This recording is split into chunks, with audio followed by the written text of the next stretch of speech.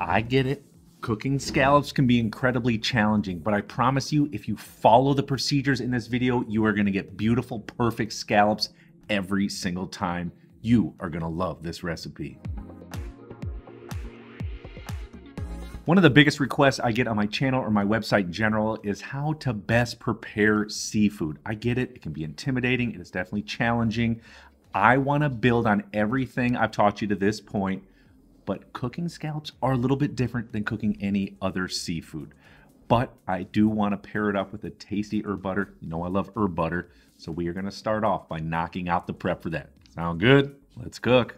In Chef Billy Parisi fashion, we are going to prep up an onion and specifically a small shallot. So remove the ends of that shallot, slice it in half, and then of course, as always, peel off that outside layer. Now we're only going to use half of the shallot. That's all we're going to need for our butter. And then simply small dice it and definitely take the time to do this. Make sure it's small dice or else you're going to get a big bite of raw shallot when you eat this butter. Set it to the side in a bowl and then what I'm going to do is run a few garlic cloves through a garlic press and we're going to be doing it right into the bowl with the shallots. In fact, we're going to put most of our prep in just one bowl.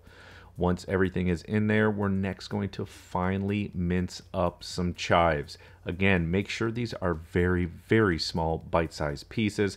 Not that you can't get a big chunk of chive when eating the butter, but just for consistency's sake. And then I've got a few sprigs of fresh thyme, just roll in that outside and then finely mince it again. There is so much flavor in the stems of thyme. Do not throw those away. I was always taught that, and it's so true. Just try a stem yourself. Make sure it's finely minced, though, or else it's going to be woody and tough to chew. And next I've got some Italian flat leaf parsley. What I'm going to do is roll it up in a little ball, kind of fold it over. This is just easier for me to hold it, and plus it kind of compacts it, so when I slice through, I'm actually slicing quite a bit. It's not just one leaf at a time. But the trick here is to finely mince it. However you do that, whether you're chopping or using rocking motions, it's totally up to you. We're also going to save a little bit to the side because we're going to garnish with it at the end.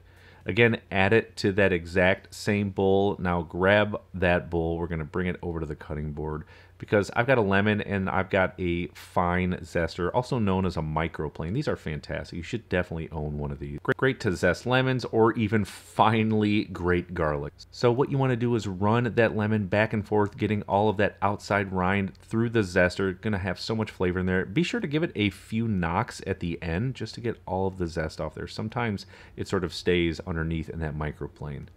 Now slice that lemon in half and we are going to juice both halves. And I like to hold my hand in one side to sort of catch any of the seeds from going in there. I don't want to go fishing right now. Just like you can see here, the juice runs through in between my fingers.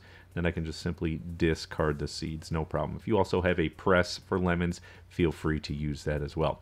Set the juice to the side and now in a stand mixer, I'm going to add in some softened unsalted butter. Remember, always unsalted because I want to control the salt content.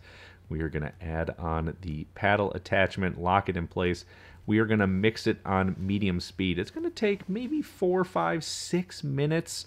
We want to make it light. We want to make it fluffy. It's also important to come back maybe after two or three minutes and scrape down the sides with a rubber spatula. Make sure all that butter is getting beaten by that paddle attachment. Of course, if you don't have a stand mixer, you can absolutely use a hand mixer with a whip. Now we're going to add in our lemon juice and then we're just going to mix that in for a minute or two want to incorporate it right into that butter and then of course that bowl of all of our herbs and shells and garlic prep go ahead and add all that goodness in there. I'm going to use, again, a rubber spatula just to make sure I get every little morsel into that stand mixer. Now we want to season it well with salt and pepper. This butter should be extremely flavorful. So be sure that there is plenty of seasoning in there. And again, just to make sure all those herbs are in there and the garlic and shallots, use a rubber spatula, scrape down the sides of the bowl. Be sure to get that paddle attachment too. There's lots of goodness always hanging out on there.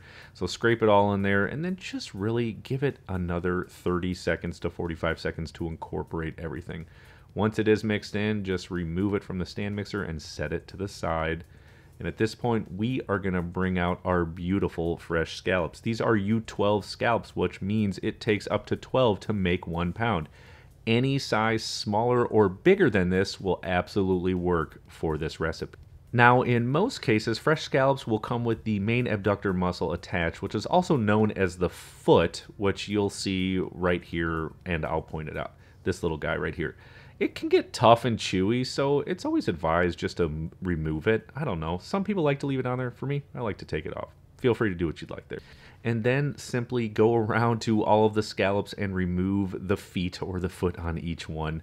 Some of them may have them, some of them may already be removed. But again, I like to pull her off there, and it pulls off with ease. There's no tugging or anything like that. It's not a hard thing to do. And then, because scallops can have a lot of moisture in them, I like to pat them down on paper towels. So just transfer them over to a couple of paper towels and then grab some more paper towels and put them over top and then what we really want to do is just sort of press them down. Get all of the moisture out that you possibly can. It doesn't have to be perfect. This is just going to help in the browning process.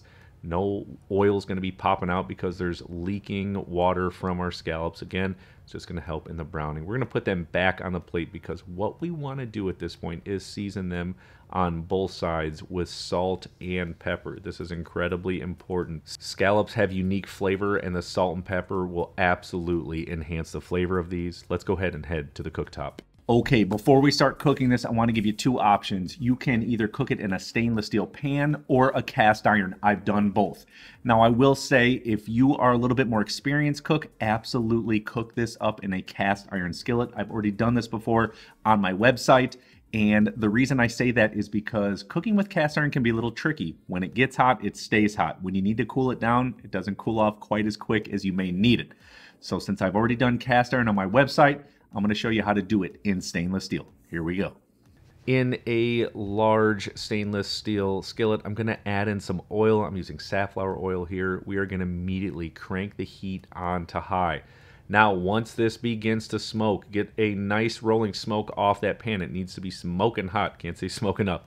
And then as quickly as you can, add in our scallops. Be sure to space them out. We want to steam them, not sear them immediately turn the heat down to medium high and then begin to add in some unsalted butter. This is going to help brown them. This is going to help add flavor. It's a little bit of fat.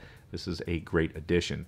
Now it's only going to cook for maybe 90 seconds to two minutes. That's it. Maybe 90 seconds. Honestly, you got to keep an eye on it depending on how hot your burner is. See that beautiful golden brown?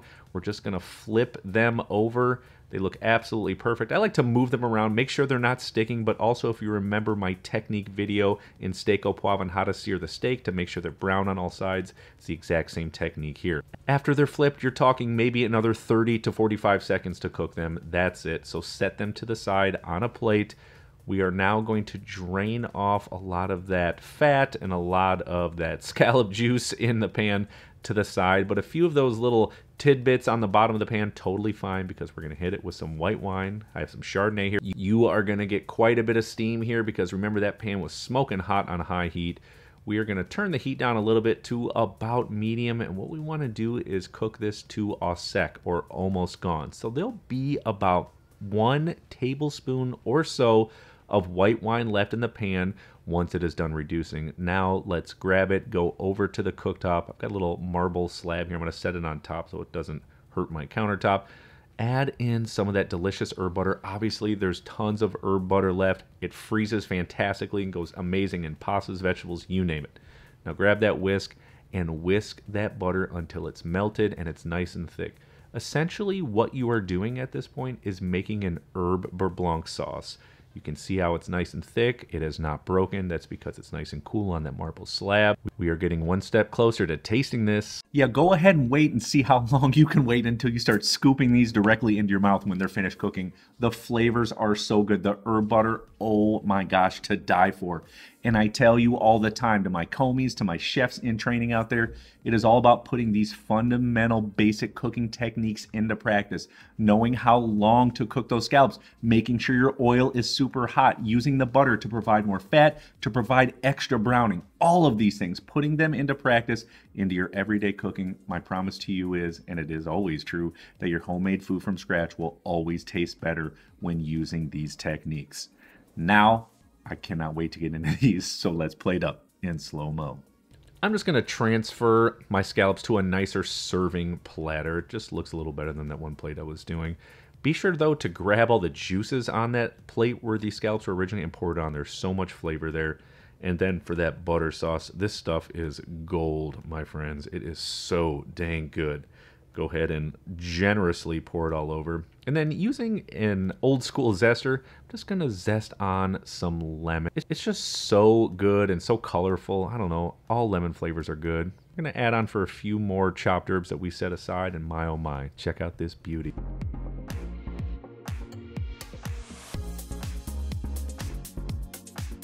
Yep, don't even care. There's already a few missing because I've eaten them. Be sure to check out this video right here because I made it just for you. See you on there.